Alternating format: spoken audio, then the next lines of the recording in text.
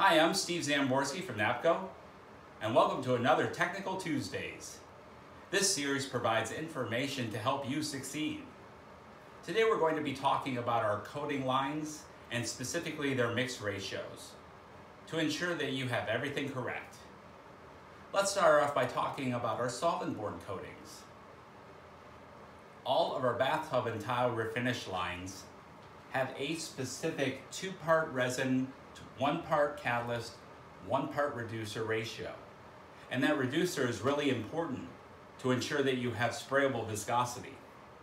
Also, make sure that you use our reducer for that particular coating line.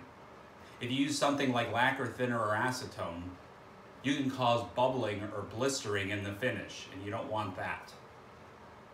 Next up is our epoxy primer in a specific one part resin, one part catalyst ratio.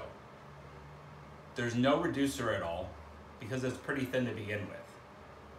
Last up is our high build primer. That's in a four part resin to one part catalyst ratio.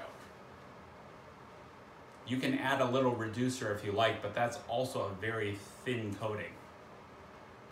We recommend that you use universal catalyst for the high build primer.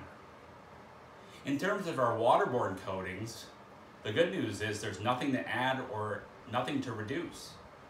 So you can load up your gun, apply the waterborne coating, and then put it back into the container after you're done, thus eliminating any waste. Well, that's all. I hope this explains our mix ratios for all of our coating lines and that you found something useful from this video. Thank you for joining me at another Technical Tuesday and we'll see you next time.